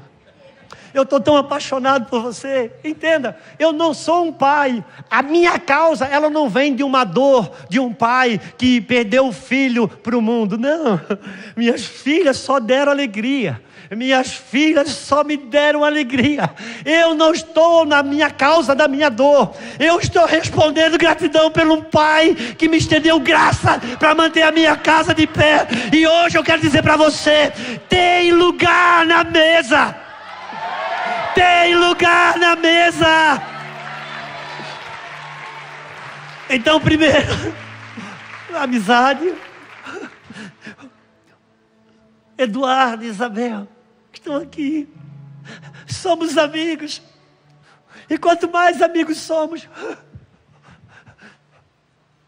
nós nos machucamos, nos ferimos. Porque tem gente que diz, pastor Juscelio, eu te amo. Mentira. Pastor José, não fala assim que eu te amo de verdade. Não quer dizer de mentira que mentira que você não ama. Eu só vou saber se você me ama. O dia que eu errar com você. Aí eu vou saber se você me ama. Ai, Bruno, eu te amo. Não, cara, você vai saber se eu te amo. O dia que você errar comigo.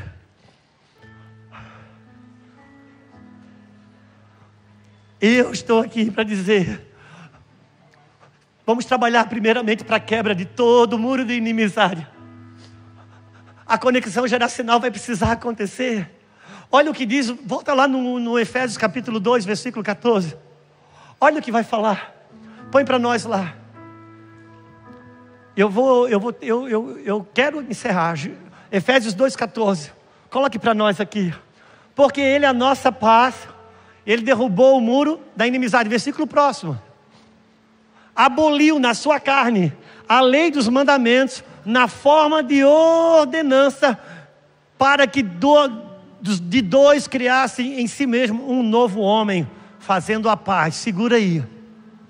Ah, deixa eu lhe dizer uma coisa.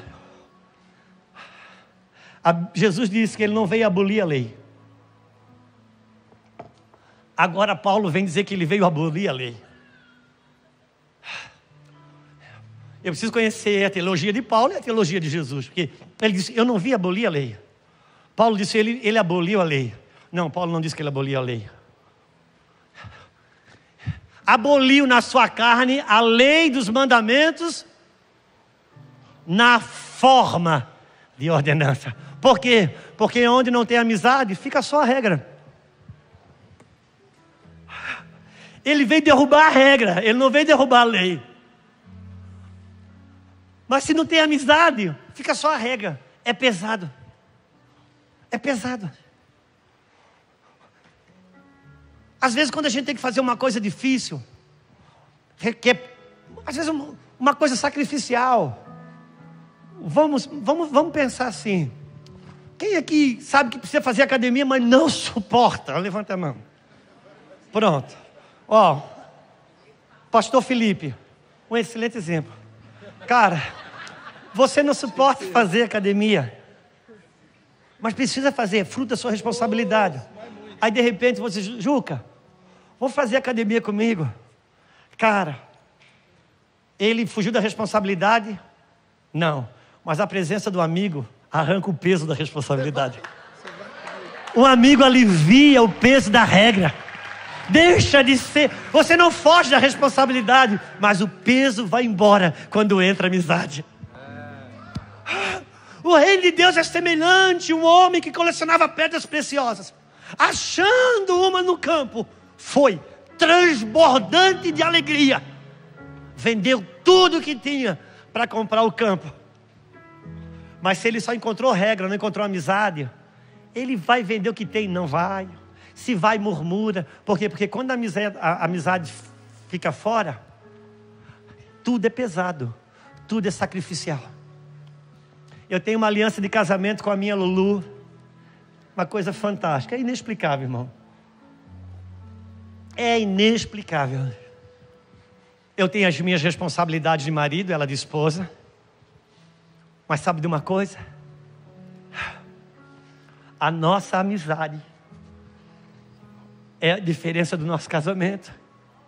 Às vezes a gente fica até duas, três horas da manhã sentado na cama conversando. A gente no final até ri. Ainda bem que amanhã não tem nada para fazer, né, Juscelio? Deixa eu lhe falar uma coisa. Os casamentos de hoje. Pessoas já casam, já, ó. A escova de dente é tua, essa aqui é minha. A metade da cama é tu que arruma, a outra metade eu arrumo. Tu arruma o teu sapato, eu arrumo o meu. Então, eles têm um ajuste de obrigação, mas o casamento fica pesado. Por quê? Porque não é fruto do relacionamento da amizade, é só cumprimento de regra. Quando a inimizade cai, a amizade entra, as responsabilidades não vão embora. Mas é um serviço que é a partir do relacionamento. Quantos estão comigo?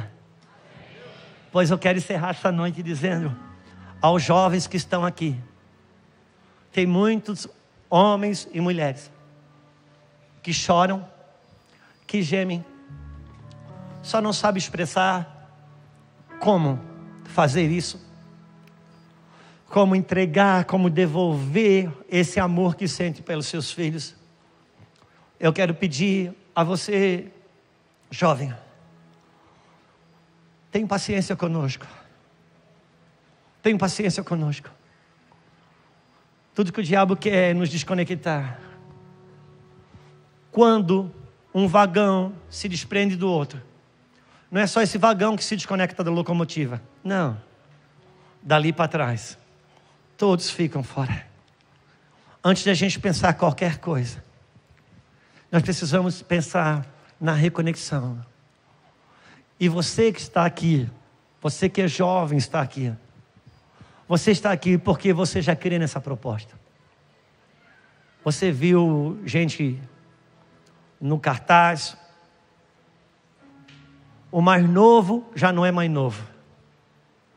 Porque nós estamos indo para um caminho de conexão, onde pai e filhos trabalham juntos. Talvez não vai começar a partir do seu pai biológico, a partir da sua mãe biológica. Talvez não seja. Mas você, debaixo de uma consciência, comece a oferecer quebra de inimizade. Mas, pastor, dá um exemplo prático dentro da minha casa. Eu me sinto um pouco desconectado com meu pai e com a minha mãe. Simples. Faça a refeição junto. Pastor, porque tu não sabe a refeição da minha casa. É o seu sacrifício. O ser mais distante de Deus que nós conhecemos, ele tem um nome emblemático. E qual que é? É o nosso i? É o nosso? É o nome que foi dado para o diabo na Bíblia. Então, quem mantém inimizade está num tipo de evangelho que é esse camarada aí que ganhou esse título. Quem vem para Cristo paga preço e sacrifício para se devolver o relacionamento. Nós vamos ter grandes avanços.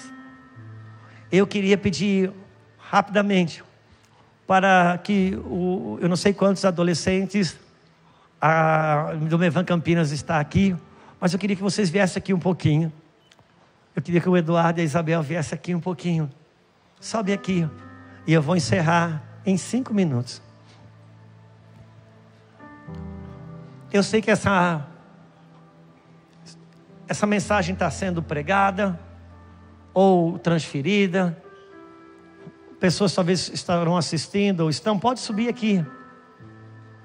Eu queria encorajar a que você se esforce para as quebras de inimizade. Porque é tudo que o diabo começou no jardim de Éden. Ele criou um padrão de inimizade. Esses jovens aqui, por que, que eu estou mostrando eles? Porque é a minha jurisdição. Obviamente, pastor Misael, pastora Thaís, estão aqui do Mevando e Tupéva, também com seus jovens estão aí. Eu estou falando que é da casa que eu tenho responsabilidade. Nós não estamos alinhados em teologia. Tem coisas que eu acredito de um jeito, eles acreditam de outro jeito. Você não, acredita, você não pode imaginar que todos esses jovens e mais um bom número deles, oito horas da manhã de um domingo, oito, entre oito e oito e meia, eles já estão lá no Mevan para a gente tomar um café juntos. Alguns viajam 30, 40 minutos, alguns viajam uma hora. Então, para estar às oito, viajar uma hora, saiu de casa às sete. Para sair de casa às sete, levantou pelo menos seis e meia. Isso para mim já é avivamento. Um adolescente levantar seis e meia da manhã de um domingo para ir no culto. E eles não vão por causa de uma grande pregação ou de uma teologia. Tem coisas que eu falo, às vezes, que eles não concordam. Tem comportamento que eles têm, às vezes eu não concordo. Mas nós temos olhado no olho um do outro. E temos criado uma conexão de amor, de aproximação e de amizade. Porque é assim que começa o Evangelho de Cristo derrubando a inimizade. E a partir daí fica tudo mais fácil. Hoje, o pouco, o pouco que eu consigo suportar do que eu não, do que eu não concordo neles, e o que o pouco eles conseguem suportar do que não concordam em mim, é fruto de uma dispensação de amizade no espírito. A gente se ama. Nós decidimos que a gente vai segurar uma onda junto. E no exercício desse amor, Deus vai dando os encaixes. Sabe? Hoje já está mais fácil viver com eles. Para eles já está mais fácil viver comigo. Eu não mudei e eles também não, não mudaram. Mas o exercício da continuidade vai dando o encaixe que só o Senhor pode fazer. Isso é discernir o corpo. É discernir o corpo. E eu quero encorajar a cada jovem, cada adolescente que está aqui, se conecte. Sabe, lá no Mevan de Tupéva, no presente momento, os pastores de jovens, é o próprio pastor Misael e a pastora Thaís. Não é só porque falta um pastor de jovens lá. Esse não é o ponto. O ponto é que Deus sabe como que faz para primeiro criar conexão e depois o serviço entrar a partir do relacionamento. Eu quero dizer nós estamos dispostos. Vamos avançar juntos. Tem muita coisa para acontecer juntos. Vocês são maravilhosos, são preciosos. E é sempre mais fácil gostar de quem não está tão perto. Porque quando chega perto é que vê os defeitos. Mas na disposição da amizade, a gente vai avançando. Pastor Felipe, conhecido como um, um homem que toca juventude. Rodolfo era o cara que todas as conferências de jovens do Brasil que existe, o Rodolfo já cantou, já pregou, que passou no Brasil. Permita-se quebrar o muro da inimizade. Não começa pensando no que falta. Talvez você está aqui hoje, assim, ah, se na minha igreja, irmãos, todo todo falido parte daquilo que falta. Todo vencedor parte daquilo que tem. Para encerrar, eu diria o seguinte: Jesus falou para os seus discípulos: Vós dizeis, faltam quatro meses para a, sexta, para, para a ceifa. Quando ele disse vós dizeis, sabe o que ele está falando? Isso é um pensamento de vocês, meu não. Eu vou falar qual é o meu. Levante os olhos e vede. Os campos estão prontos. Sabe o que Jesus está falando? A maneira de vocês pensar é a partir do que falta. A minha maneira de pensar é a partir do que já tem, mesmo que não tenha chegado ainda. Isso é mudança de mentalidade.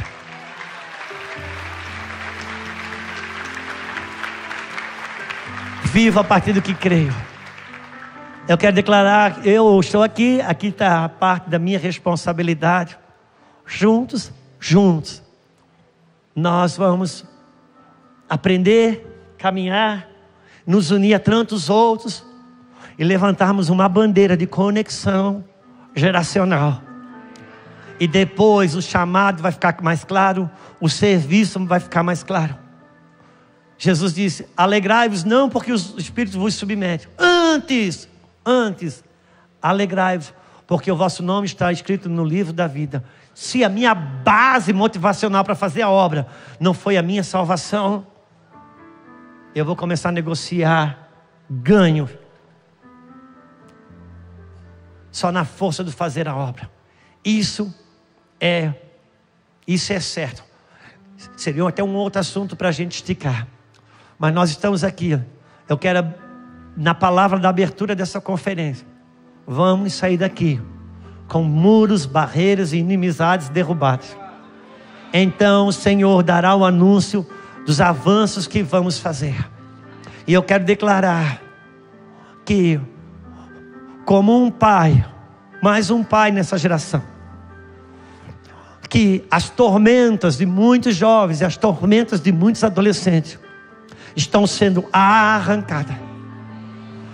E nós, ao invés de exibir fé, nós vamos clamar: Senhor, ajuda-nos, ajuda-nos, ensina-nos como nos conectar, ensina-nos como dar as mãos, porque porque vai ter grandes avanços. Eu quero declarar na sua casa, na sua comunidade de fé, grandes avanços. Se levante, se você puder ficar de pé, se levante para derrubar todo o muro de inimizade. Obrigado, Eduardo, Isabel, nossos filhos lindos, hoje tão amados, tão conectados. Que Deus abençoe a vida de cada um de vocês. Deus abençoe.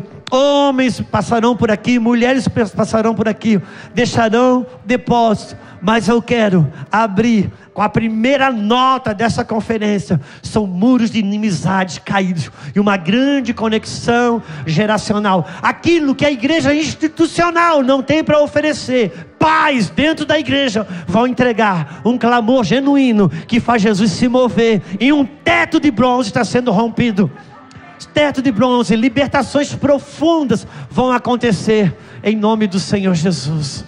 Amém. Vamos adorar o Senhor um pouquinho, Pastor Felipe Vilela. Já está na vamos sua dispensação. Senhor, erga suas mãos, vamos orar. Vamos orar. Você veio para isso, amém? Quem glorifica a Deus pela vida do pastor Juscelio? Quem vai ser permitido ir para o lugar de onde essa palavra nasceu?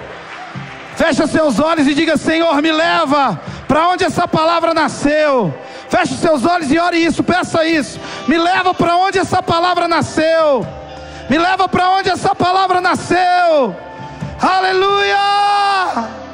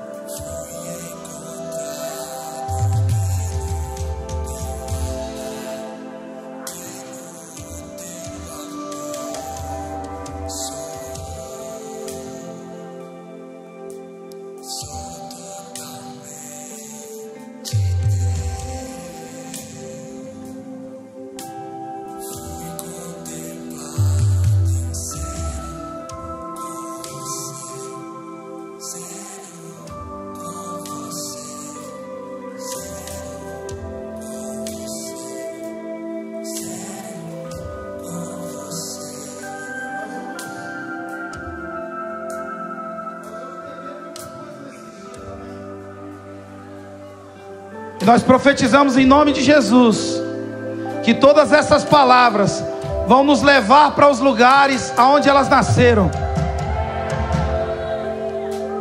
Que você saia daqui um melhor filho, um melhor pai, um melhor marido, uma melhor esposa. Que a gente consiga ir para esses lugares. Erga suas mãos e agradeça a Deus com as suas palavras. Use as suas palavras para agradecer a Deus por estar aqui, porque Ele nos trouxe até aqui. Tem gente que veio de tão longe, tem gente que veio de tão longe. Use as suas palavras, diga obrigado, Senhor. Obrigado, Jesus. Apresente os seus motivos a Ele, por mais pessoais que eles sejam, por mais específicos que eles sejam. Nós te agradecemos, Jesus. Nós bendizemos o Seu nome. Nós louvamos o Senhor. Erga suas mãos o mais alto que você puder e aplauda Jesus com muita alegria. Com muita alegria. Com muita alegria. Com muita alegria. Tá bonitinho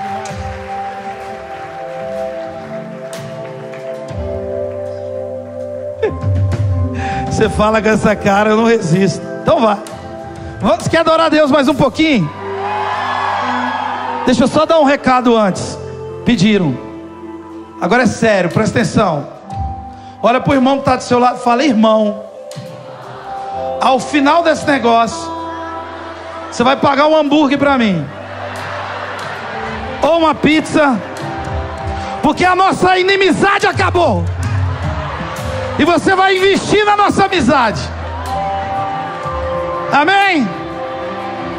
Presta atenção. Não vai embora. Você não vai achar lugar nenhum aberto. Mas lá embaixo tem 12 food truck te esperando com a comida maravilhosa. Esse é um recado. Deixa eu dar todos agora. Que aí eu já entrego para vocês. E aí quem a gente fica, olha só. Amanhã o nosso check-in para você que veio hoje, quer vir amanhã, o nosso check-in inicia às sete da manhã. Sete da manhã. O nosso café da manhã, olha para mim, presta atenção. O nosso café da manhã, para você que está aqui incluso, em todo o contexto de café da manhã, ele vai das sete e meia até as nove horas. E nove e meia a gente começa aqui com muita coisa legal para você. Eu não vou nem falar, amanhã você vem ver. Tá certo? O nosso café da manhã é igual prova do Enem. Se você chegar nove e uma, você não entra. Eu quero aproveitar e agradecer muito toda a galera do inscrição que está aí. Faça um barulho para o inscrição. Check-in foi muito rápido, muito obrigado pela vida de vocês, pela presença de vocês aqui. Glória a Deus pela vida de vocês. Eu acho que é isso. Outra coisa, me dá aqui, linda, só o material do morada. Eu já aproveito e já faço tudo. Ó, lá embaixo também tem a loja do morada. Eu não vou falar só do material do morada, porque tem a gente vai ficar aí. Morada vai embora. Acho que é o meu tamanho essa aqui, já foi de propósito? Olha só, tem alguém que faz aniversário hoje? Parabéns você, irmão. Deus abençoe. Que alegria estar aqui com você no mesmo dia. Depois pede um desconto lá na loja do Morada. Amém? Glória a Deus, parabéns. Quanta gente fazendo aniversário. Tanto dia para nascer. Foi nascer na véspera do feriado. Glória a Deus. Ó, então lá embaixo tem material do Morada. Lá embaixo tem uns food trucks esperando. A gente não tem hora para acabar, mas a gente tem hora para começar lá embaixo. Amanhã, sete horas, check-in. Sete e meia, café da manhã, até as nove horas, nove e meia a gente começa aqui, certo? Não pode marcar lugar, não pode marcar lugar. que mais? Não segurar lugar, não retirar a sua pulseira. Olha só, presta atenção. Não retire a sua pulseira. Eu vim aqui para você prestar atenção em todos os recados. Com a minha jaqueta do Nubank. Você vai usar o seu cartãozinho roxinho hoje e vai pôr para cantar lá, tá certo? Vai comprar seu conto e a gente se vê. Agora erga suas mãos bem alto, adora Jesus por mais um instante. A gente tem mais alguns minutos para adorar o Senhor. Brunão, em nome de Jesus, fica à vontade.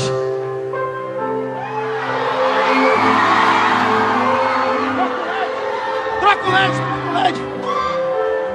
Troca o LED, troca o LED para eles.